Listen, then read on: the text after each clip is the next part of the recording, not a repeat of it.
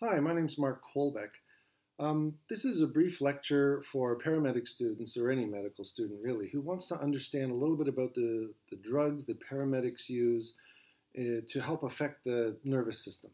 When I'm teaching my students this, as we go through the paramedic program, I find there's often a poor understanding of, once we start talking about alpha receptors, beta receptors, GABA, uh, cholinergic antagonists, people kind of, their eyes cross and they think, oh, I'd never really learned that stuff.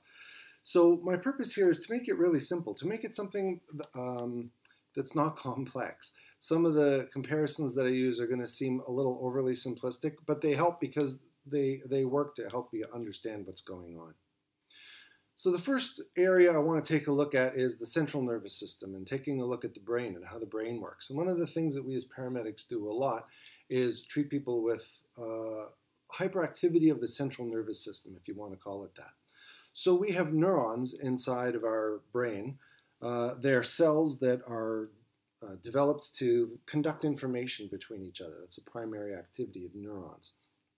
Neurons have axons, bodies, and dendrites. And the way to remember those things is the body is the central part. The axon is the part that acts on another nerve, and the dendrite is the part that accepts the bit from the axon. So if I'm sending out a message, uh, I'm sending it out through the axons of the nerve, and then it's being received through the dendrites. And the way to think about how axons work, it's kind of a combination between electrical symbol, signals and chemical signals.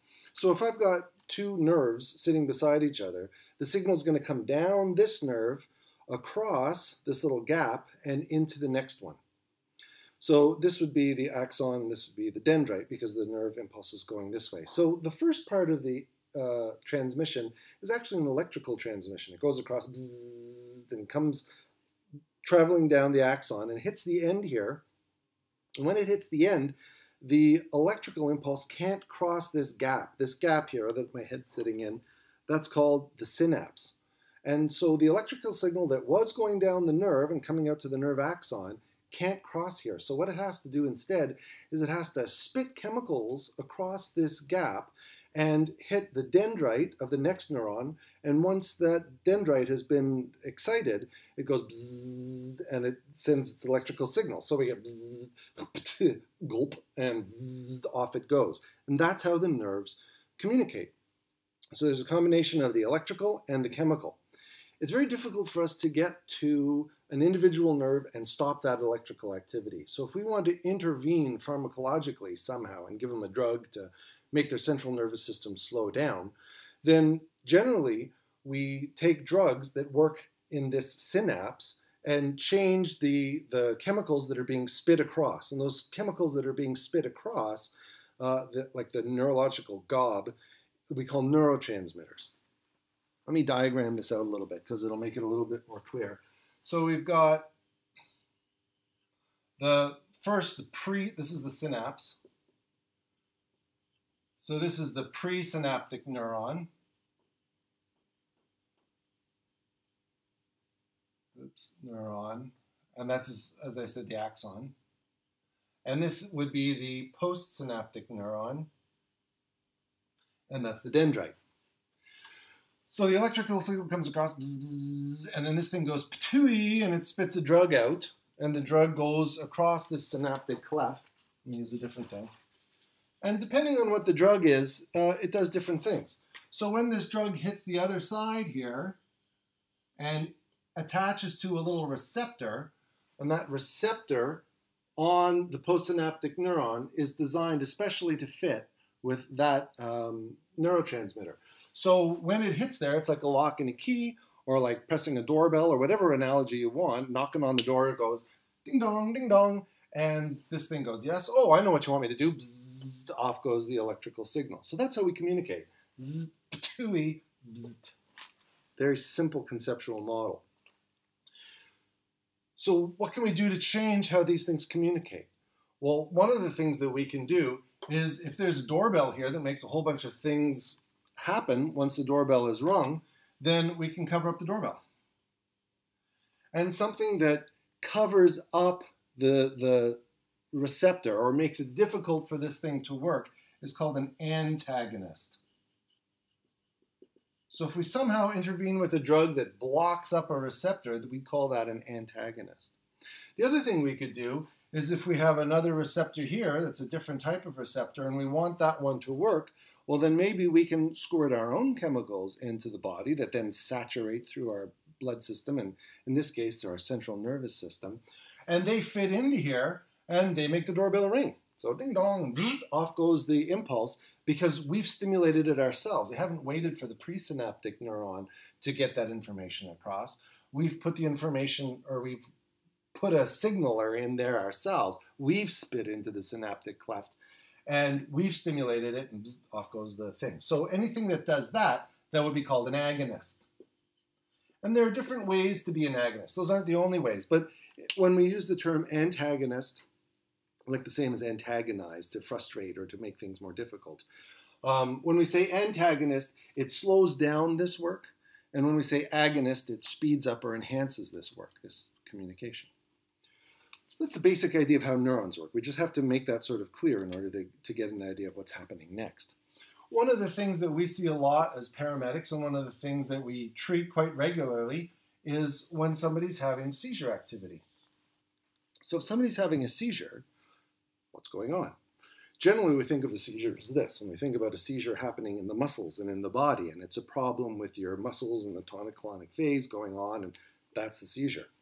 In reality, medically speaking, or physiologically speaking, the real problem with a seizure is going on inside your brain. It's an electrical storm inside these neurons. These things are going bzz, bzz, bzz, all over the place. And because they're firing off like crazy, those signals then go from our brain, out of our brain, down our spine, into the rest of the body. And the body that's just there taking instructions from the brain goes, ah, what do you want me to do? I don't know what you want me to do. You keep giving me all these different signals. So off we go and we have a seizure. It's not quite that chaotic. You can actually see Jacksonian marches and stuff. And there's usually some order to how the seizure develops and manifests. But for all intents and purposes, our brains are short circuiting and they're firing off like crazy. And we see that happening in our body. It's just getting random chaotic orders and it's doing the best it can to follow the instructions. But the instructions are garbage, so that's what we get. What can we do at the level of the synapse to stop that from happening? Well, our body has, our body has ways of uh, making these postsynaptic neurons, the dendrites, more excitable or less excitable. If you think about this as a cell, uh, inside the cell, normally, let me just draw well, I'll draw it like this. Um, normally, the insides of these are slightly negative. And in order to make this fire off, what we need to do is exchange positive and negative ions from the outside. Hopefully, you remember this because this is sort of too much detail to go into. Uh, it, it goes too far backwards. But generally, you got a cell, you got sodium on the outside, you got potassium on the inside, and you've got little channels in the cell. And when those channels open up, the sodium goes in, the potassium comes out, and there's a depolarization. This is a negative cell, so it becomes more positive. If we draw a graph, it looks roughly like, you know, there's like zero. So we start down here, and these little channels open up, sodium rushes in, potassium rushes out, and it goes up, and then it comes back down because we've got little ATP pumps here that uh, work to put the sodium and potassium back where they're supposed to be. Hopefully you already know that. If you don't already know that, stop watching because it's it, you've got to go get that first. But basically, that's what's going on inside these cells. So what's happening here is we've got sodium and potassium and chloride other ions going back and forth, and that's what the actual electrical activity is. Electricity is just the movement of electrons. So when we start moving electrons around here, that's electricity. When we think of normal electricity like light bulbs, the way a light bulb works is you've got your light bulb and up comes a little bit of wire and swirls around and then comes back down. And what we do is we push electrons through this wire. And it's a wire that actually has some resistance to the electrons. So it's like we're pushing it against friction. And because there's this friction of the electrons going through a a medium that it's difficult for it to go through, uh, the friction warms up and eventually it gets white hot and it starts glowing. And it's that glowing that gives us the light. Um, the reason this thing doesn't actually burn up is because it's in a little glass case that has the oxygen taken out and has an inert gas around it so that it can't actually burn. So it just glows nicely. And if you crack a light bulb and let the oxygen in, it goes and it instantly burns up. So the movement of electrons through a medium, that, that's all electricity is. So when we have electrons moving through our cells, it's just electricity. Okay. So in our cell, sodium and potassium passes through. We also have uh, gates, little channels that go through here. I'll draw them really big, like this. And these gates let chloride through. And chloride is a negative ion. So if we take a whole bunch of chloride and fill up the inside of this cell with chloride, when we take a look at our graph, instead of here's our zero and you know we start sort of negative down here somewhere and then there's a bit of an exchange and it goes, having more negative inside the cell means we shift this down further down here and we have to travel this much more. We have to get that much more of a change in our electrical potential until we hit our activation threshold. So the more negative we make the inside of the cell, the more difficult it is to fire. So think of it like negative is depression, right? So if you're really negative, if you're really down, you're really negative, like most cells, most cells walk around, I'm a cell, I'm depressed. So if you put more depression, more negative into the cell, it makes it even more difficult for it to get out of bed. It makes it even more difficult for it to do work. If someone's kind of depressed, they say, hey, let's go in the park. And they go, mm, okay. If someone's really depressed because you put a whole bunch of more negative in them, you say, let's go do something. And they go, no, I'm not getting out of bed. That's what happens with cells. So if we can somehow get more negative things in here, the cell is less likely to depolarize. It's less likely to do something. How do we get negative in there? One of the ways our body does it is it takes a drug or a neurotransmitter called GABA, G A B A, and the GABA attaches to this chloride channel and opens it up wider. So more chloride can get in there, the cell gets more negative and more apathetic. It's less likely to depolarize. GABA is a great drug. If we had some way to uh, pour GABA into a person's body, then we could calm them down. So if somebody's really hyper and frenetic, and you can pour more negative into their neurons, then their neurons fire less and they're less frenetic. If you're having an electrical storm in your brain and you could pour GABA in there, then more chloride would go in, the cell would be more negative, would be less, less likely to fire off. Perfect. Just exactly what we want. Unfortunately, we, we can't really pour GABA into people's bodies for a whole bunch of physiological reasons. Um, but we can do something almost as good. If you think of GABA as the superhero that opens this up, if this is Batman coming in and opening up the channels and making everything better by making the cell more negative and coming in saying, calm down, citizens, everybody relax. That's what this, you know, GABA Batman drug does. We can't actually call Batman, but we can call Robin. And Robin is the sidekick to GABA. And what we discuss when we talk about uh, Robin, the analogy I'm making, is a, a class of drugs called benzodiazepines. Benzodiazepines. And benzodiazepines are great drugs that are used an awful lot. And benzodiazepines will come and they'll attach to the side of these chloride channels and they'll enhance the effects of GABA. They don't do exactly what GABA does, but they help GABA to do what they do, like a sidekick. So uh, the benzodiazepines will come on, the GABA will attach, and the chloride channels will open up more.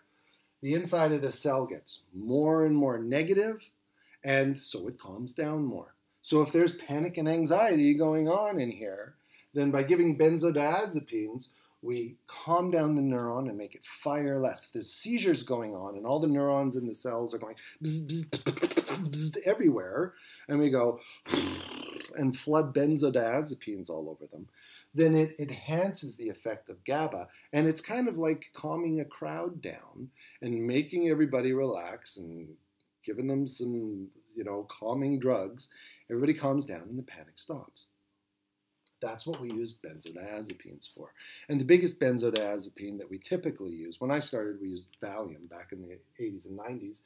But Valium has a longer half-life and it's oil-based and it's not such a great drug. So we've actually switched in most uh, paramedic services to using a drug called midazolam, or Versed is the trade name for it.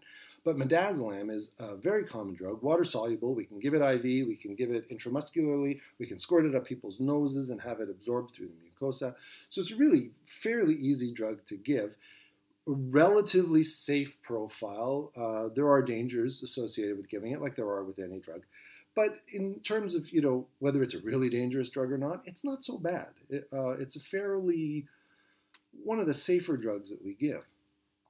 So when someone's having a seizure, when someone is anxious, uh, if we're trying to calm them down, if we're going to be doing a painful procedure that they're worried about, we can give them a little bit of midazolam, which is a benzodiazepine. That midazolam goes in, enhances the effects of GABA, more negative chloride inside this neuron. It's less likely to fire off, and the whole brain just calms down, which is a great drug to have. So that's what we do inside the central nervous system. Um, one of the things that, uh, you know, another drug that we use is flumazenil, and flumazenil actually blocks the little receptor here where the benzodiazepines attach. So it's like covering up the doorbell. So if someone's taken too much benzodiazepine, if they've had an overdose of benzodiazepine, uh, and it's become dangerous for them, we can put flumazenil in there, and that kicks the benzodiazepines off of those receptors, and it's kind of like kicking Robin out. Batman and Robin are a great team. Uh, take away Robin, Batman's not as strong. So that's what we're doing is we're we're kicking out the benzodiazepines there. So uh, the GABA recept the GABA doesn't work as well. Chloride channels don't open up as much. We don't get as much of a calming effect. That's why we use midazolam. Good drug for us to be able to use. A lot of other drugs work similar to benzodiazepines. So uh, uh, alcohol works similar to this. Barbiturates work similar to this by enhancing the effects of GABA. Some of the central um, anesthesia, uh, anesthesia agents, the inhalational agents that they use, and drugs that anesthetists would use in an operating room, they work in a similar way. Um, one of the things to be aware of is that if we're giving midazolam, which is the benzodiazepine that we use as paramedics, and we reverse midazolam, so we kick the midazolam off of its little receptor by using flumazenil, the flumazenil actually doesn't last as long as the midazolam does. So it'll it'll uh, fade away, it'll evaporate over time, and the benzodiazepine that we gave will go back and use there. So if we do reverse somebody who's uh, had an overdose of benzodiazepines, then we should keep on watching them because the half-life of the thing that's stopping that overdose is less than the half-life of the actual drug and we could give them the drug and a little while later come back and they're back into an overdose because the antidote we've given wears off before the poison does. If that makes sense. Okay. So that's the central nervous system. That's working in the brain.